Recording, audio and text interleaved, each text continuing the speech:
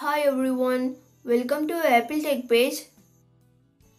In this tutorial, I will show you how to fix clock widget showing incorrect time on iPhone after iOS 14 update. Solution 1 is restart your iPhone. Some users said that restarting the iPhone solved this issue. To do this, go to Settings app now scroll down and tap on General. Again scroll down and tap Shutdown. Then drag the slide to power off slider to right side to turn off your iPhone.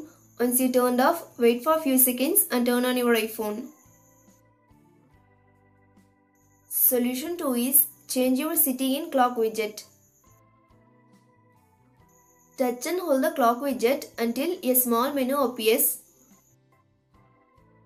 Tap on Edit widget. Now tap on city name. Then enter the name of your city in the search bar. If it tells you no options available, enter the name of the large city in your time zone. Then tap on the name of your city. Then you can see your city under city settings for your clock widget and exit the screen. Now your clock widget shows the correct time. Solution 3 is turn on setting time zone. To do this, go to settings app. Next, tap on privacy. Now tap on location services. Make sure that location services is turned on. Scroll down and tap on system services. Find the setting time zone, then turn on it. If it's already turned on, then turn off and on it. Solution 4 is turn off automatic time sync. To do this, go to settings app. Next, tap on general. Scroll down and tap on date and time. Now turn off set automatically if it's turned on. Solution 5 is Reset Network Settings. If you do reset network settings, this will delete your connected Wi-Fi networks and passwords, APN and VPN settings and cellular settings. To do this, launch Settings app.